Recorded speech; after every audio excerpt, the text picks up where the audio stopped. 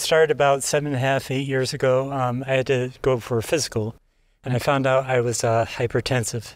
And um, I knew I was uh, having health issues. Um, I think I was pre diabetic because I had um, various uh, symptoms that related to that. So, anyway, I did get an official diagnosis for blood pressure, and that started my journey. And miraculously, I found uh, Dr. Fuhrman on TV, and um, I purchased this book, End of Diabetes. I followed this plan, and within a year, I lost um, the first 120 of my 150 pound weight loss. Wow. So it took one year.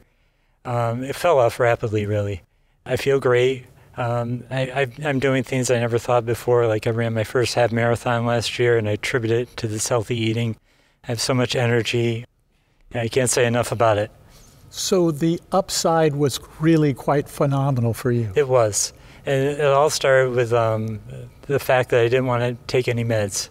I was stubborn about that. My doctor worked with me, and uh, I'm so grateful I found out about Dr. Fuhrman because it, it really changed my life.